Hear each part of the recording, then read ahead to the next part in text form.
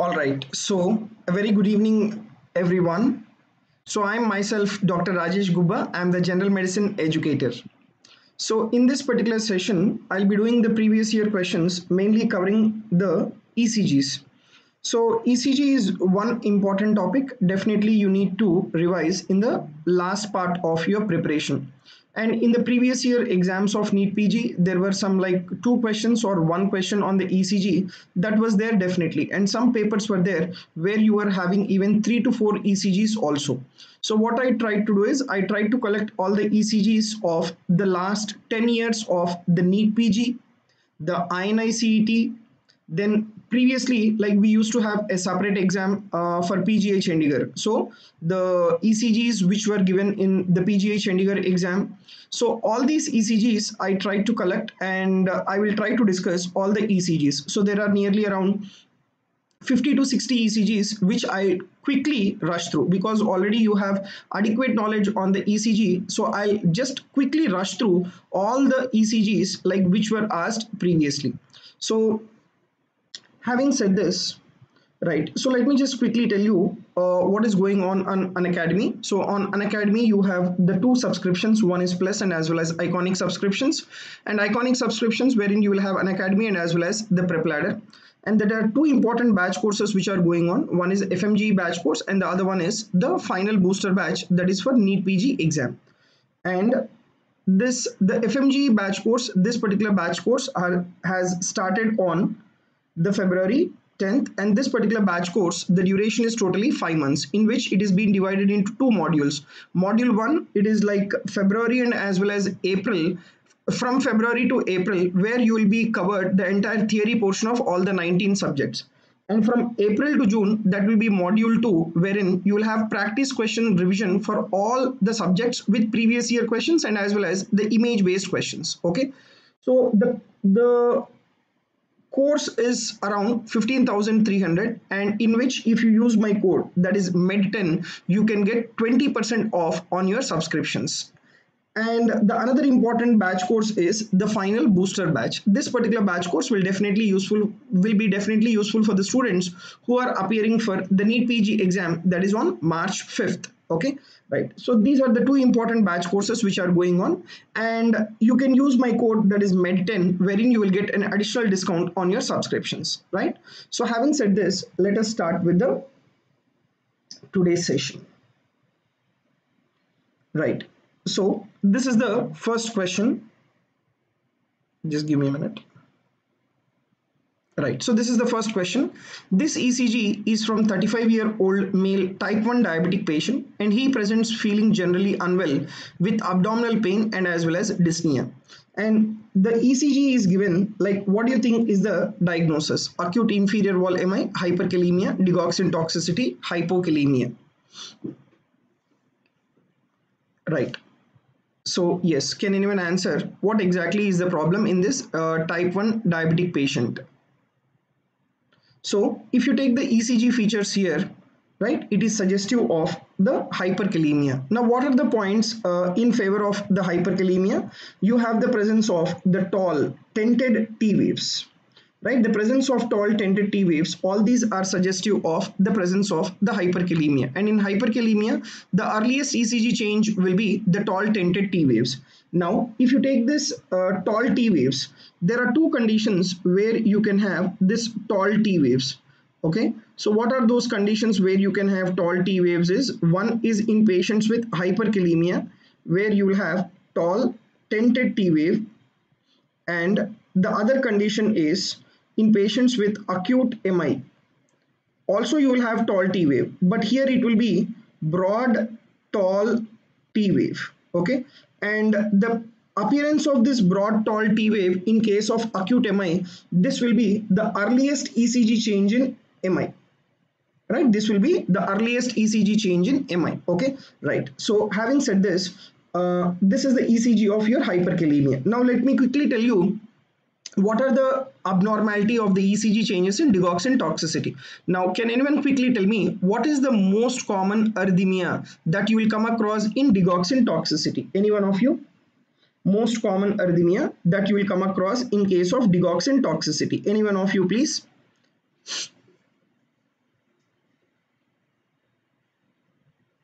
Right. So, the most common arrhythmia that you come across in case of the digoxin toxicity will be ventricular bigeminy. It is not VT most common. Most common is ventricular bigeminy. And followed by that, you can have all the other arrhythmias. You can have VT and you can also have VF, right? And not only tachyarrhythmias, you can also have bradyarrhythmias in digoxin toxicity you can also have bradyarrhythmias. What are those bradyarrhythmias? You can have first degree AV block, second degree AV block and as well as the third degree AV block. But which type of AV block that you will not see? The arrhythmias not seen in digoxin toxicity. Not seen in digoxin toxicity are atrial fibrillation, then atrial flutter and Mobitz type 2 AV block right? Mobitz type 2 AV block. These are the arrhythmias that you will not see in case of digoxin toxicity. Otherwise you will come across all the arrhythmias in case of digoxin toxicity right? Then now having discussed about the first ECG now we'll move on to the next ECG right? So you see this question here. ECG of a 14 year old female who presents following an episode of palpitations and associated dizziness. Diagnosis of the ECG is paroxysmal supraventricular tachycardia, atrial fibrillation, aortic stenosis, WPW syndrome. So what is the presentation of the patient? Palpitations and there is dizziness. Now, can anyone quickly answer this question? No no no no. No no no no no. No no. It is not psvt why are you in a hurry of uh, answering the questions? So just go through the ecg properly. Now if at all if it is like psvt paroxysmal supraventricular tachycardia. In psvt what is that you should have? You should have narrow complexes. Now, if you closely observe the complexes in these patients, they are not narrow complexes. The QRS complexes, whatever you are having, they are wide QRS complexes right? They are wide QRS complexes. Next to the wide QRS complexes, the other important thing uh, is if you clearly or if you closely observe, you take the PR interval. The PR interval is being shortened.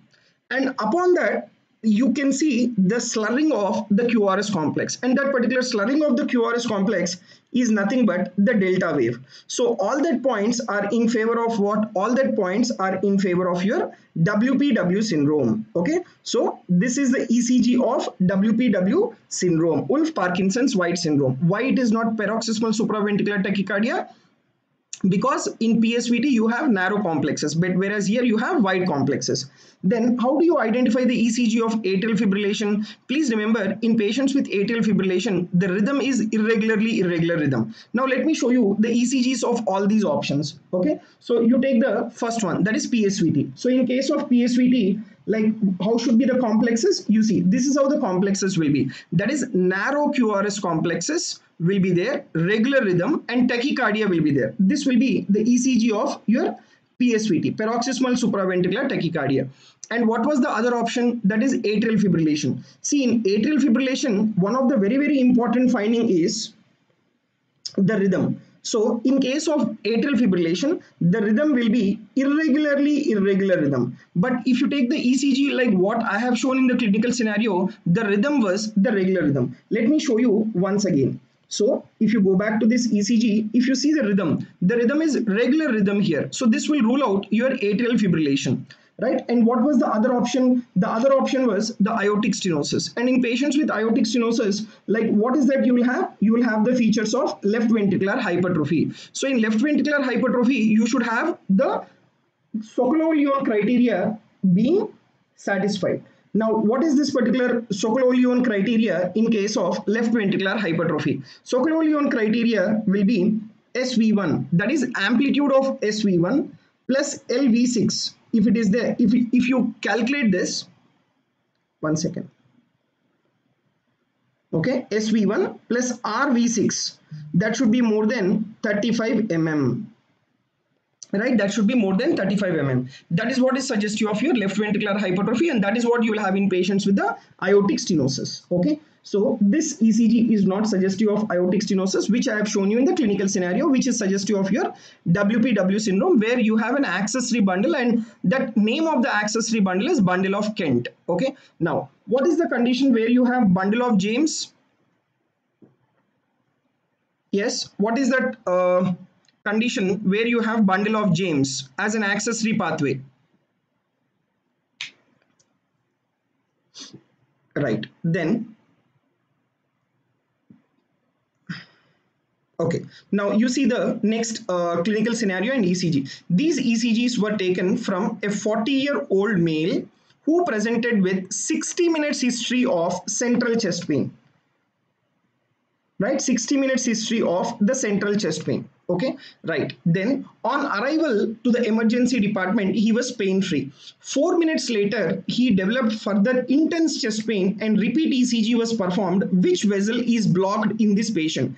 Left anterior descending artery left circumflex artery right coronary artery left anterior descending artery and left circumflex artery. Right. Jj this particular session will be there for nearly around one to one and a half hour. Okay? Yes. Now which particular vessel is blocked in this patient? Right. It is not just only left anterior descending artery okay? If you clearly see here like what are the ecg changes uh, suggestive of this particular ecg changes they are suggestive of both. That is the anterior wall mi right and not only anterior wall MI, you also have the lateral wall MI. One AVL V5, V, V6 also, you have ST segment elevation. Okay, so ST segment elevation is there in one AVL V5, V6 and as well as V1 to V4. So when ST segment elevation is there in uh, uh, V1 to V4 and one AVL V5, V6, that is suggestive of both anterior wall MI and as well as lateral wall MI. So the answer is the left anterior descending artery and as well as the left circumflex artery in this particular question, right? Now, having discussed, so it is not just only LAD. By seeing LAD, don't jump onto LAD immediately as a first option. The correct answer is the fourth option. Right, now you see the next important clinical scenario. The following ECG is taken from a 71 year old male who presented with several episodes of ischemic sounding chest pain on a background of known ischemic heart disease okay on a background of known ischemic cardiac disease. What is the next step in the management? Options are requires urgent thrombolysis requires urgent pci need serial ecgs and comparison with the prior ecgs ignore because they are artifacts. So what do you think is the correct answer in this question?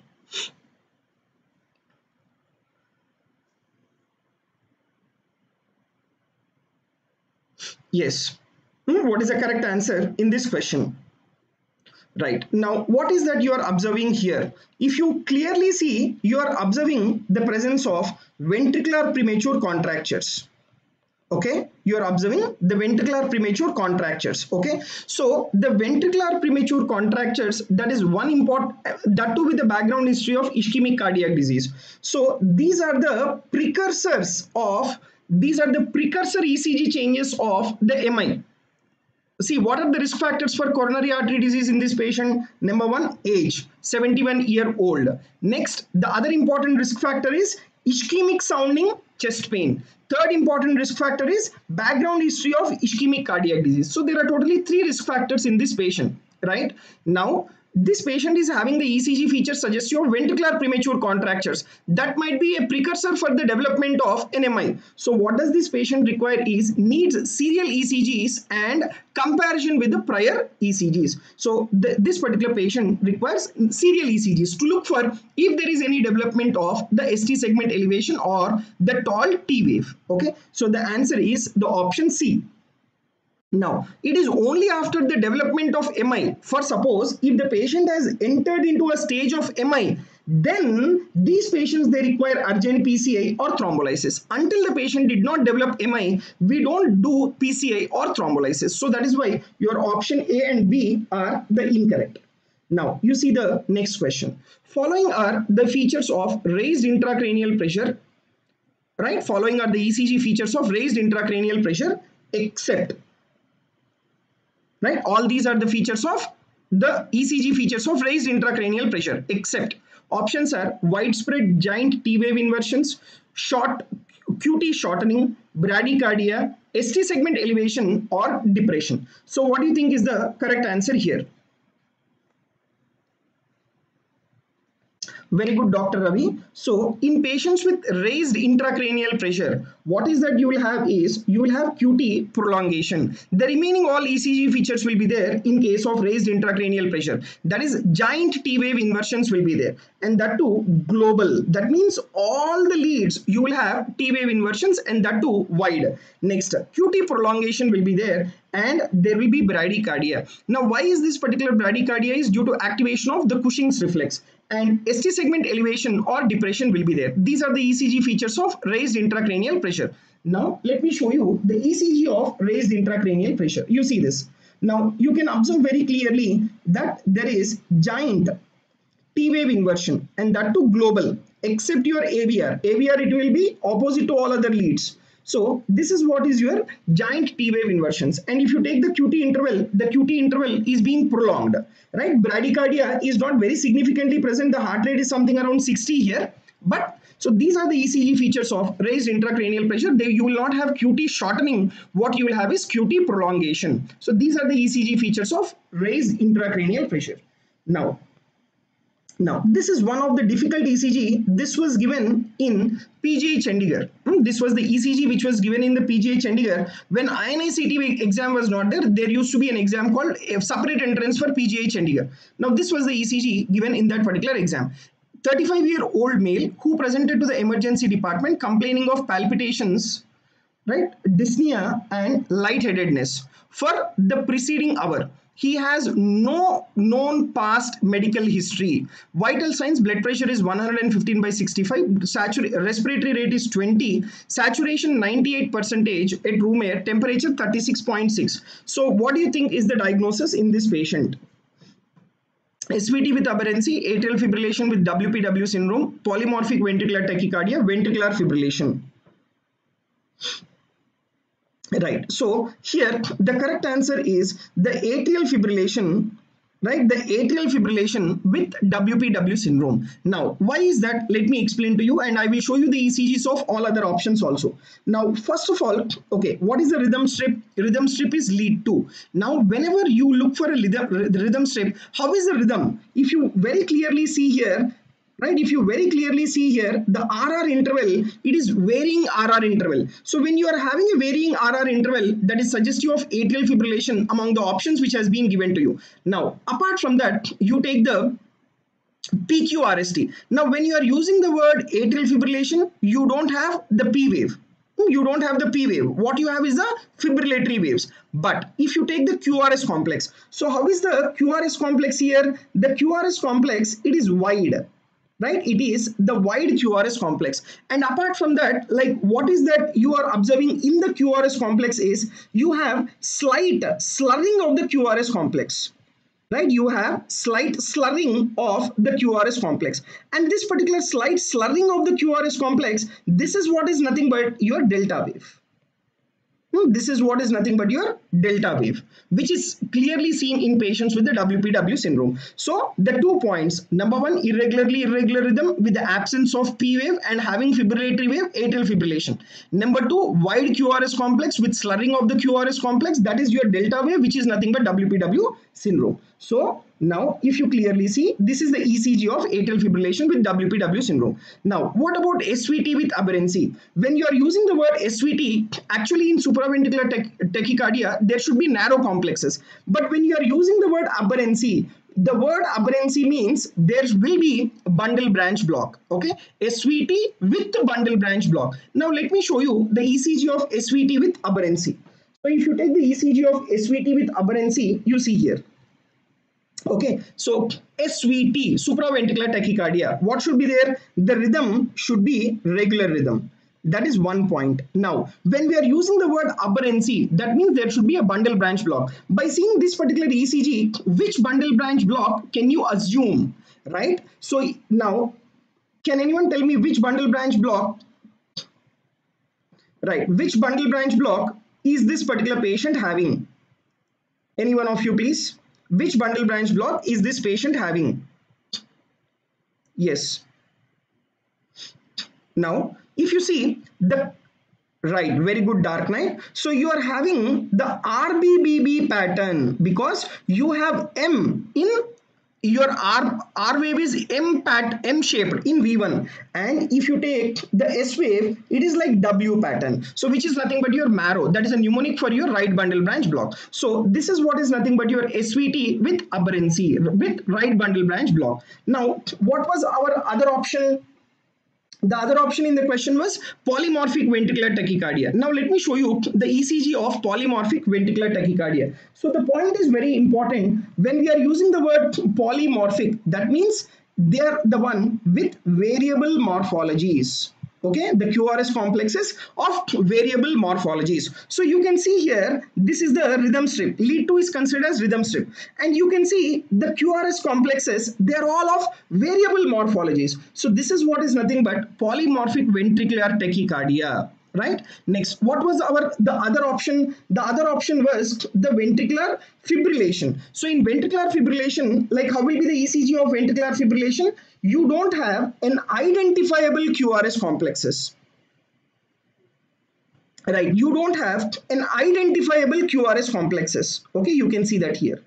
There are no identifiable QRS complexes and that is what is the ECG of ventricular fibrillation. Okay right. So now after having discussed about the atrial fibrillation with WPW syndrome. Now we'll move on to the next question. Now this is the question which has been asked in AIIMS right? So prior to your INI-CET exam we used to have a separate entrance for AIIMS exam. So this was the question which was asked in the AIIMS exam. Now ECG is from a 69 year old male who had a dual chamber pacemaker earlier in the day. He complained to the ward staff of pain at the insertion site right? Pain at the insertion site. And you have been asked to review him. His bp temperature saturation respiratory rate are all within the normal limits. Ecg was performed and this is how the ecg shows. Now tell me what is this suggestive of?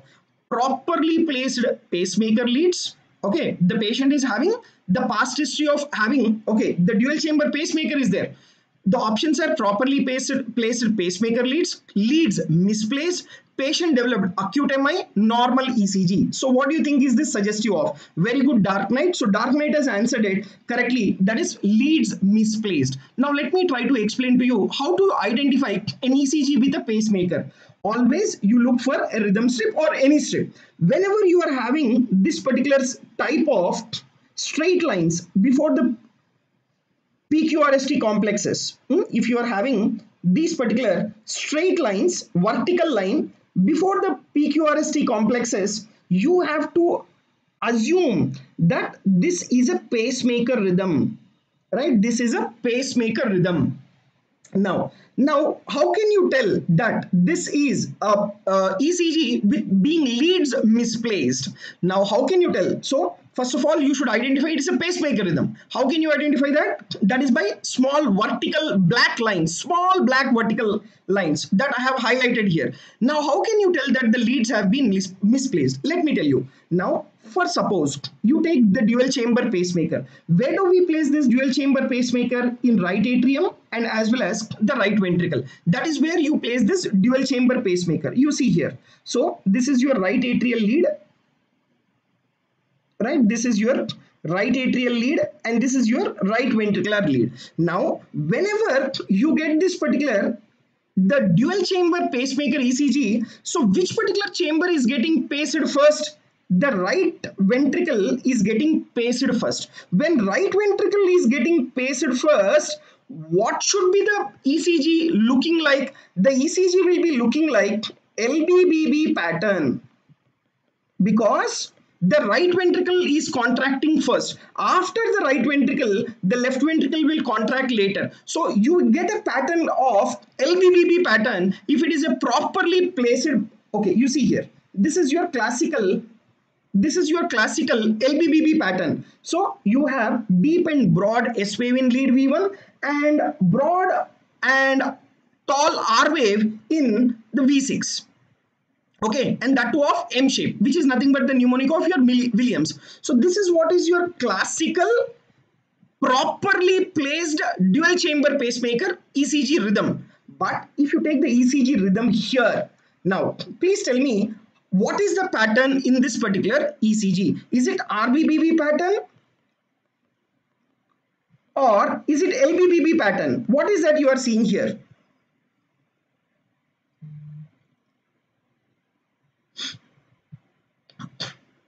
So if you see clearly here, what is that you are seeing is you are seeing the RBBB pattern. So you can see here, this is what is your RSR pattern.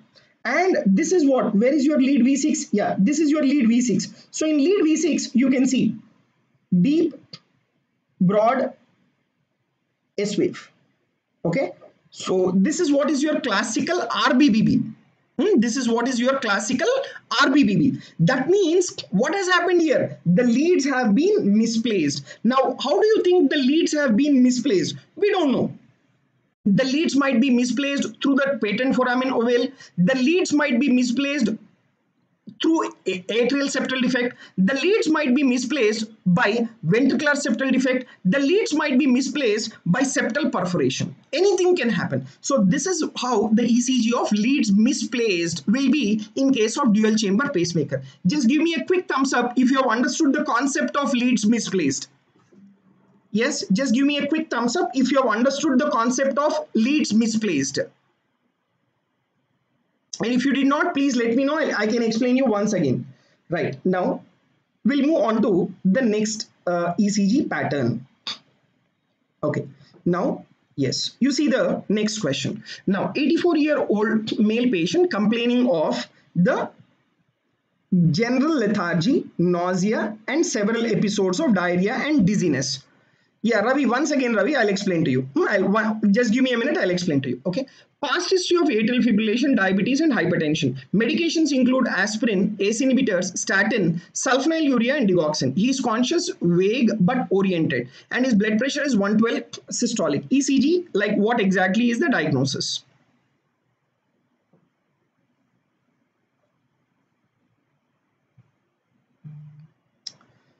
Right. A kritika single. See you have to look for the rhythm strip first. Hmm? that is the first lead that you have to look for.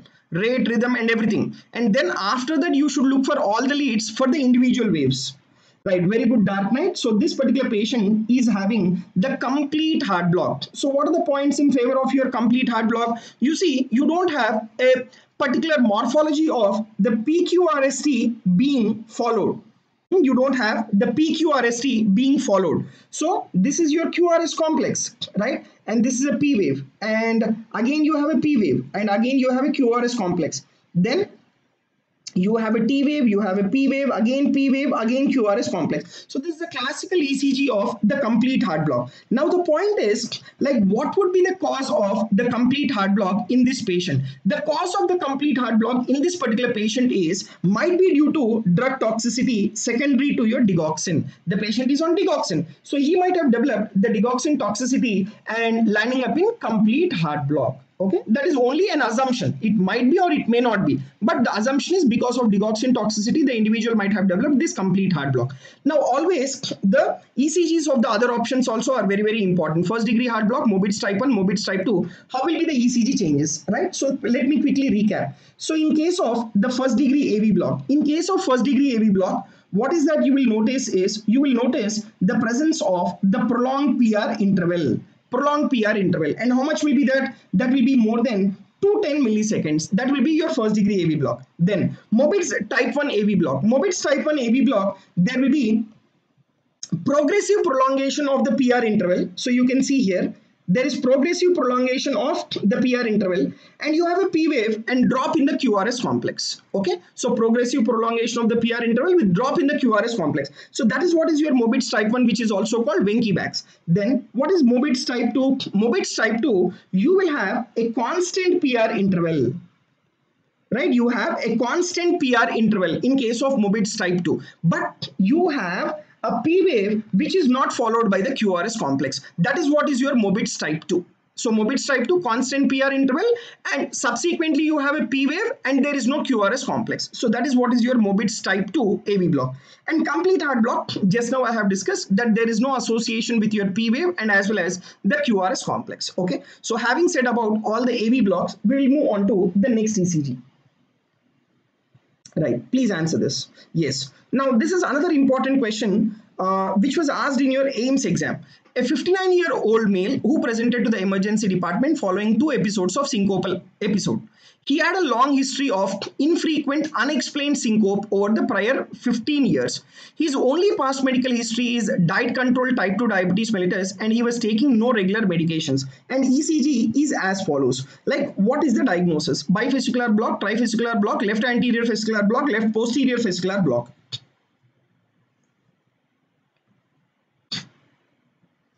Yes. Hmm, what is this particular ECG suggestive of? Okay, now I'll just zoom this ECG. Please try to answer this. Right, if anyone can answer, I'll be very happy. And this was the previously uh, asked in the AIIMS exam. So definitely in the NEET PG, like you there will not be any hesitance to ask this particular question again. Very good, uh, SNE Joe. The answer is the bifascicular block. Now, how to identify the bifascicular block? See, bifascicular blocks involve now, what is this bifascicular block? Let me tell you. See now, if you take the conducting system of the heart, see this is the conducting system of the heart. Like you have right bundle branch, okay? And for the left bundle branch, you have the two uh, branches. That is left anterior fascicle and left posterior fascicle. Okay. Now, when you are using the word bifascicular block, there will be right bundle branch block Along with that, either left anterior fascicle will be blocked or left posterior fascicle will be blocked. That is what is called bifascicular block. Okay, I'll repeat again. Along with the right bundle branch block, either of it, either there will be left anterior fascicular block or left posterior fascicular block. That is called your bifascicular block. But what is the most common pattern? The most common pattern is along with right bundle branch block, if there is left anterior fascicular block that will be the most common bifascicular block right? Along with right bundle branch block the most common will be left anterior fascicular block. Now how to identify the ecg of the bifascicular block? How to identify the ecg of bifascicular block? So how to identify is first and foremost very important definitely you will have the ecg of rbbb pattern.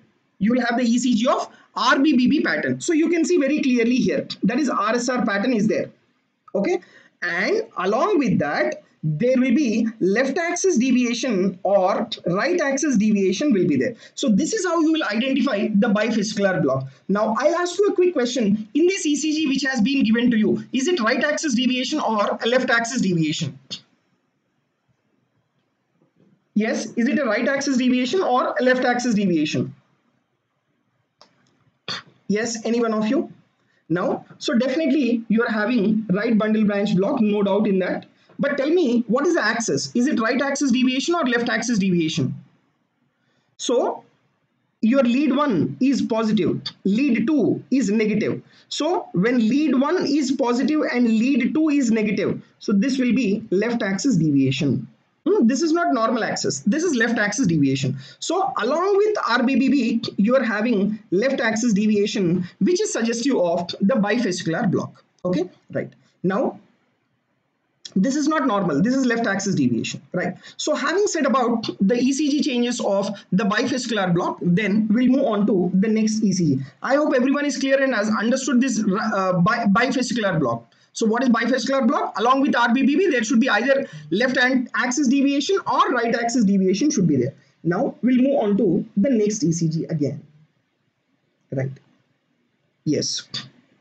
86 year old male referred by his general practitioner with worsening renal failure. He has a history of atrial fibrillation, right? History of atrial fibrillation with bradycardia for which he has he had a permanent pacemaker insertion for which he had a permanent pacemaker insertion. His medications include metoprolol. Interpret this particular ECG. Pacemaker failure to capture. Second option may be lead fracture. Third option may be drug toxicity all the above. What do you think is the correct answer? Very good, Ravi. The correct answer is the all the above. See, the patient is on pacemaker. The pacemaker has to generate the rhythm, but you don't have the rhythm which is being continued. What actually is the patient having? The patient is having complete heart block. So when the patient is having complete heart block, what does that mean? The pacemaker might have been failed or the pacemaker leads might have been failed and the patient is on metoprolol the patient might have been taken excessive dose of metoprolol and why is he taking metoprolol he is taking metoprolol for this atrial fibrillation so there might be overdose of metoprolol causing complete heart block. So the correct answer here is all of the above. Now what do you understand by the word lead fracture? Now this particular pacemakers, they will have, I'm sorry, right, this particular pacemakers, they have the leads, right? These are the leads. So these are the leads which will get inserted into the myocardium and if these particular leads are fractured then also there will be pacemaker failure so the correct answer in, in this patient is all of the above right now having discussed about the pacemaker so i have discussed two ecgs related to pacemaker okay right and these were all the previously years asked questions right so this was the NEET PG exam this was asked in 2020 Right. This ECG is from 47 year old female. She presents with acute onset severe dyspnea. Her vital signs are blood pressure 95 by 42, respiratory rate 30, saturation 88 percentage. What would be the probable diagnosis? Congestive heart failure, pulmonary embolism, COPD, acute MI. Right. Now let me just zoom this ECG for you. Yeah. Please answer this. Yes. Any one of you quickly?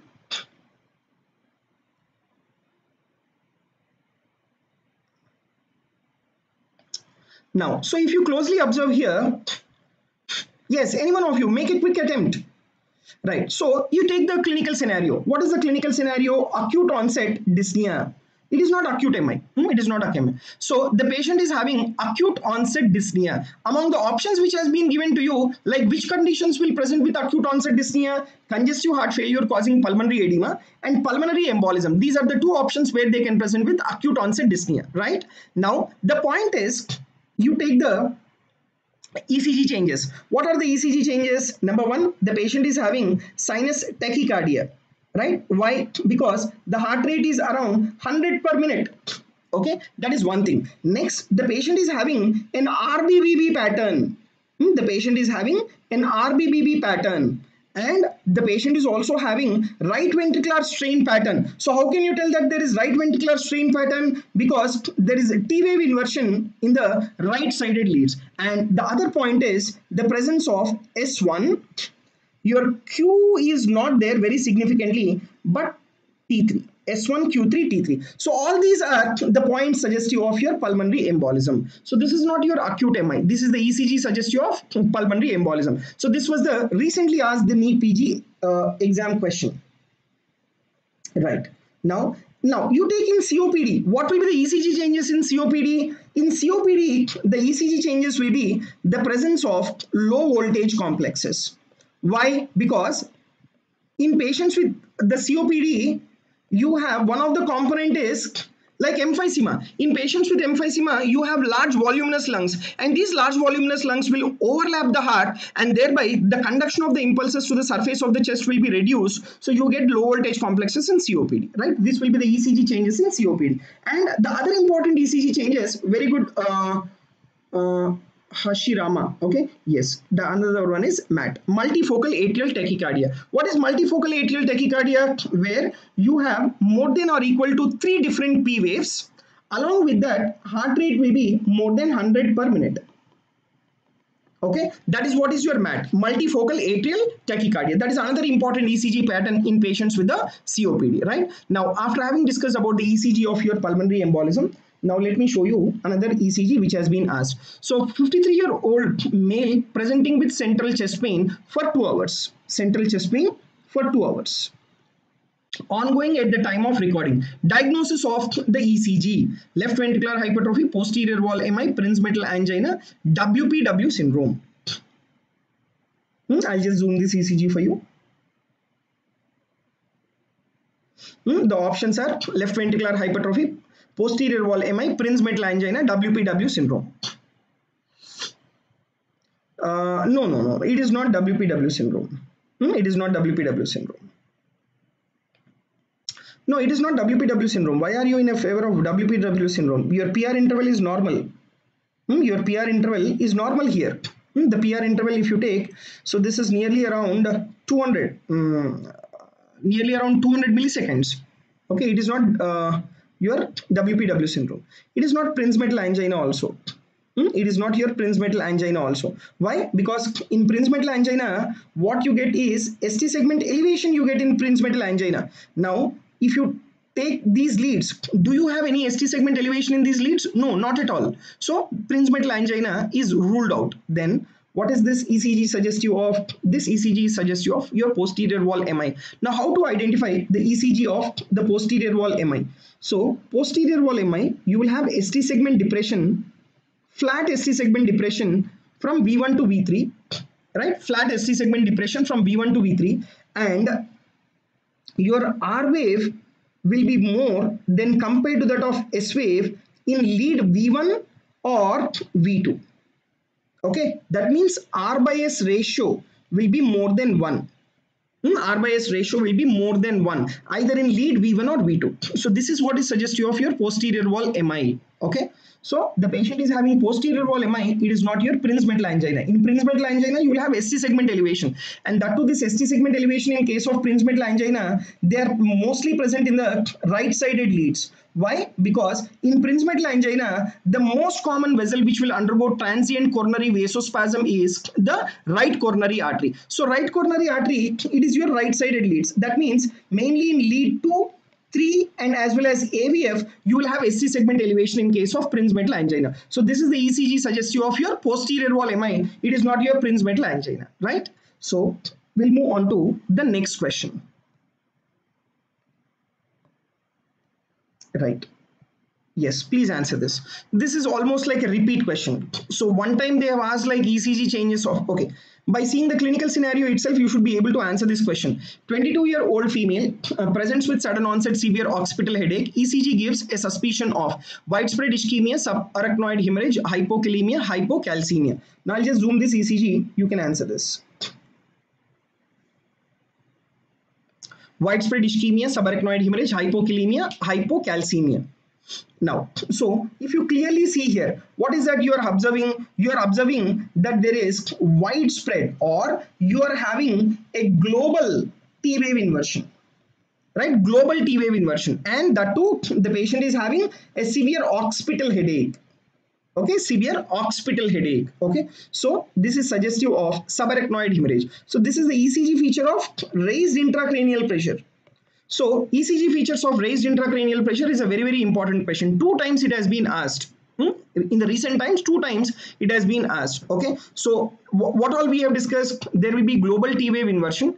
Then QT prolongation will be there and bradycardia will be there and ST segment elevation or depression will be there. These are the ECG features of raised intracranial pressure. Okay. So this is your subarachnoid hemorrhage, right? Now, having said discussed about this, we'll move on to the next one. Okay, so this is the ECG which has been asked in the INI-CET exam. 51 year old female who presented with chronic vomiting. She has a history of rheumatoid arthritis and history of rheumatoid arthritis and paroxysmal atrial fibrillation. Her medications include sotalol and rivaroxaban. This patient had a sudden cardiac death after a while and what do you think is this particular due to? Right very good uh, Kanika. So, and as well as Sana Memon.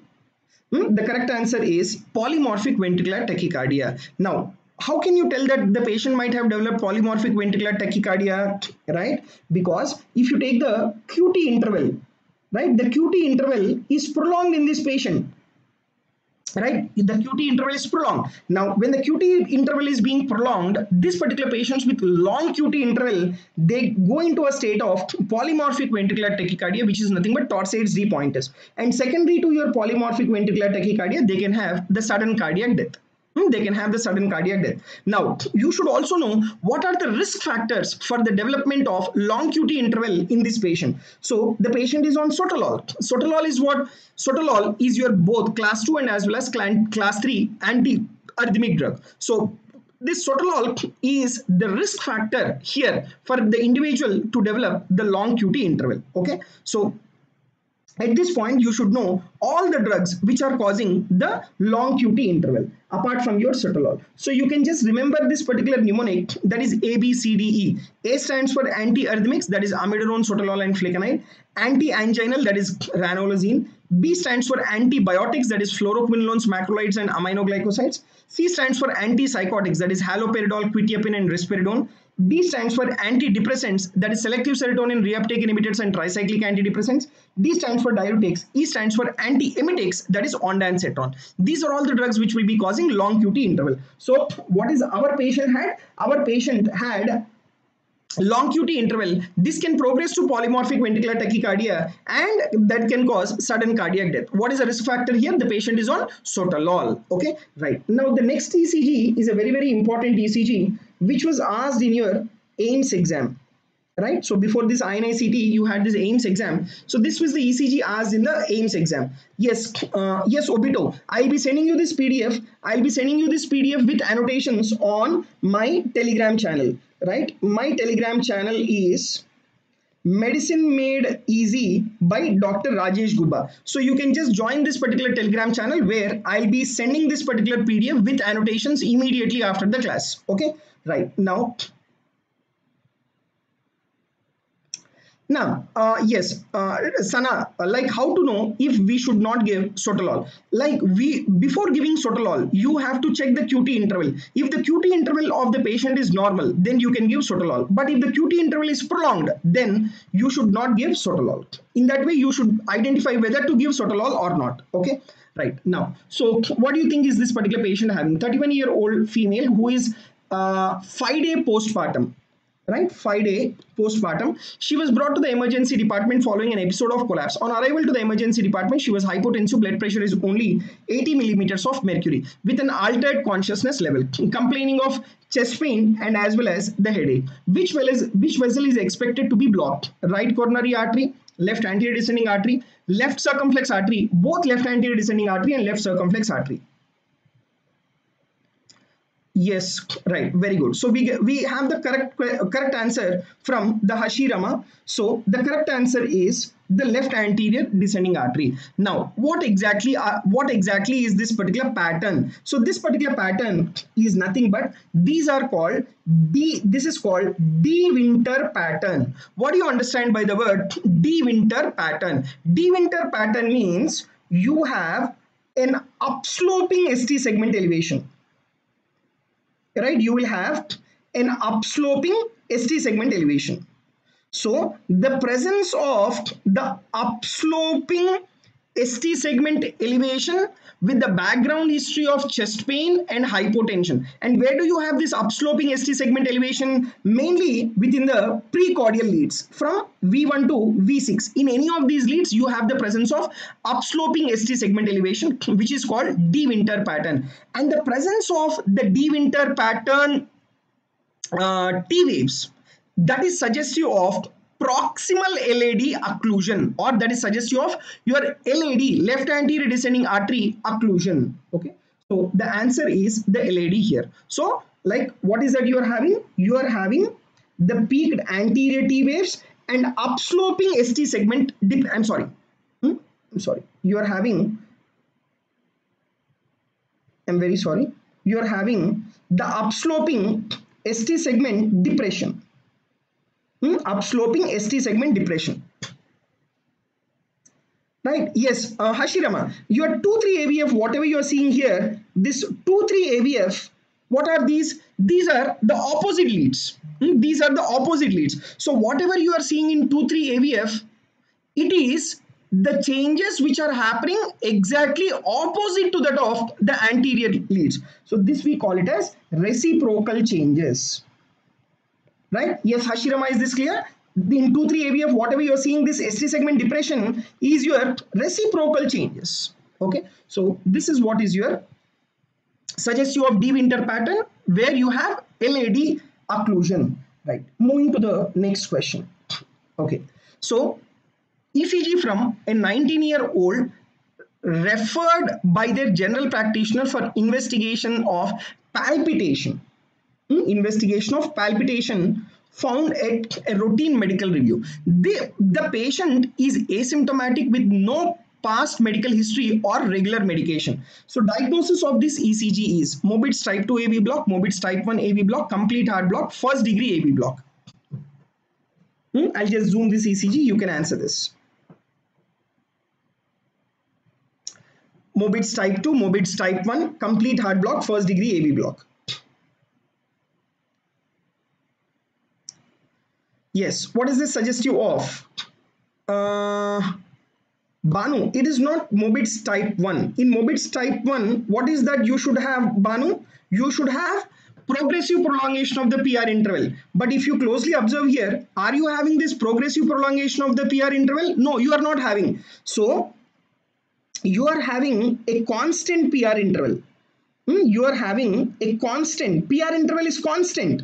There is no change in the PR interval. But intermittently, you have a drop in the QRS complex. Hmm, intermittently you have drop in the QRS complex but the PR interval whatever is there it is being maintained constant again you have a P wave and drop in the QRS complex so whatever the arrows I have made there that is the QRS complex which are dropped so what is this suggestive of this is suggestive of your Mobitz type 2 AV block whereas in Mobitz type 1 AV block in Wenckebach's what is that you should have you should have the presence of hmm, you should have the presence of prolongation of the PR interval followed by drop in the QRS complex. But you don't have that here. You are having constant PR interval with intermittent drop in the QRS complexes, which is suggestive of your Mobitz type 2 AV block. Now, answer this. Now, a 23-year-old male bodybuilder presented following 30 minutes episode of non-exertional chest pain. 30 minutes episodes of uh, non-exertional chest pain. ECG was taken when he was pain-free. What is the Sokolov-Lyon criteria value in this patient? Hmm? You should, the options are 35 mm, right? The options are 35 mm, 40 mm, 45 mm, 50 mm. Yeah, what is the correct answer here?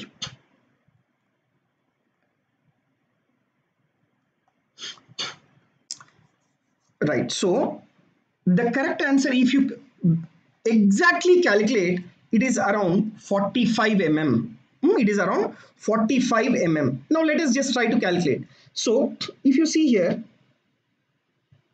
how many how much is your sv1 your sv1 is around sorry sv1 is around 11 mm okay? Now in between your v5 and as well as v6 which one you should take?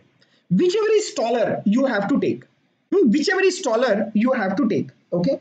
Now if you see here 1 2 3 4 that means 20 it's almost like 22 okay and even 1 2 3 4 even here also 22 so 22 plus 11 so that means how much it is around 33 i'm sorry it is not 45 it is nearly 35 i'm sorry so it is A. Hmm? It is A. So it is around 35. The correct answer is 35 mm. So how do you calculate this? That is SV1 plus RV6 or your RV5. Okay. So if you calculate it, it comes around 33 to 35 mm. So here the answer is 35 mm, right? Now we'll move on to the next question. This was the question asked in the PGI Chandigarh right this was the question which was asked in your PGI Chandigarh now this ECG is from a 12 year old boy what is this ECG suggestive of normal ECG factitious ECG supraventricular tachycardia Duchenne's muscular dystrophy yes I've just zoomed it please answer this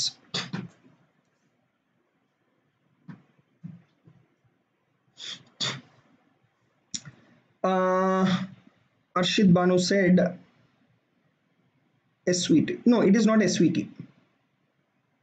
It is not SVT. It is not your SVT.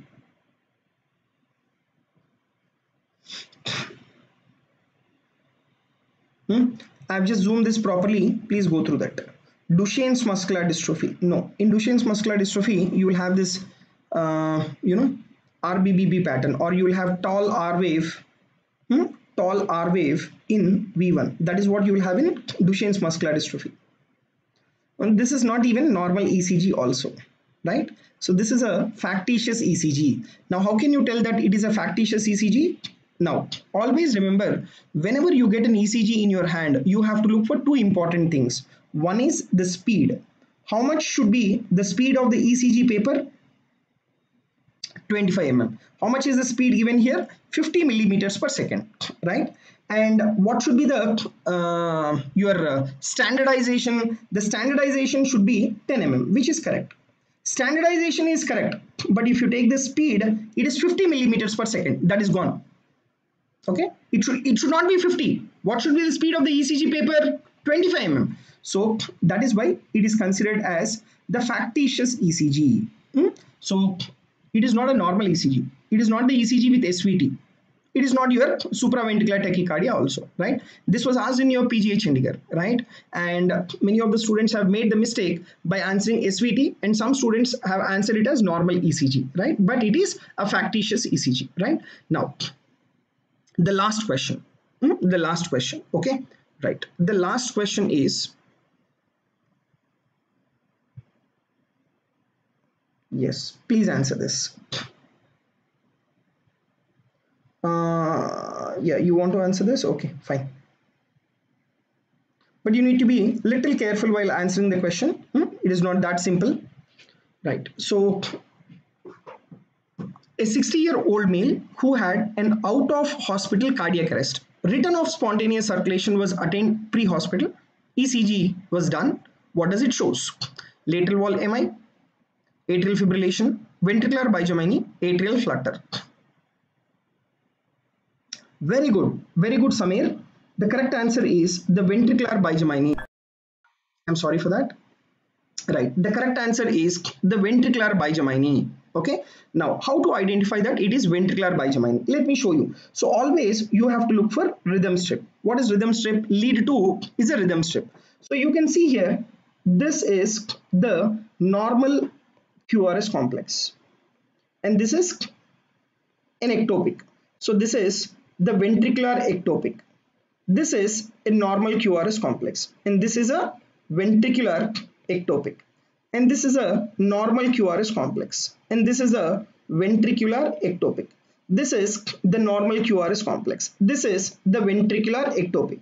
So all these are what? This is what is nothing but your ventricular. So every second one is an ectopic. When every second beat is an ectopic, that is nothing but your ventricular bigeminy. Hmm? This is the ECG of ventricular bigeminy. Okay. So the correct answer is C. Right. And let me show you one last question and then we'll wind up this session. Okay.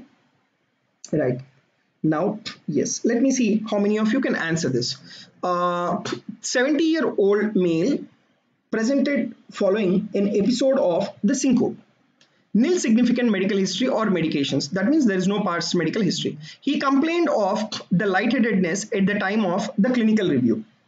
Lightheadedness at the time of clinical review. Blood pressure, saturation, respiratory rate, temperature, right? All were within the limits. Okay, all were within the limits. Okay. ECG is suggestive of 2 is to 1 AV block, 1 is to 1 AV block, 3 is to 1 AV block, trifascicular block.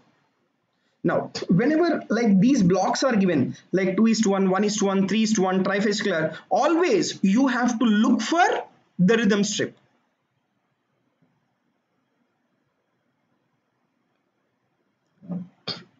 Always you have to look for rhythm strip right. So only we have few students answering correctly. That is Hashirama and as well as Arshid Banu. Hmm, both of you have answered it correctly. The answer is 2 is to 1 AV block. Okay? Now how can you why will you consider this as a 2 is to 1 AV block? Now if you see very carefully this is a P wave this is a P wave and then QRS complex. This is a P wave this is a P wave and then QRS complex. Okay? P wave P wave and then QRS complex. P wave P wave and then QRS complex.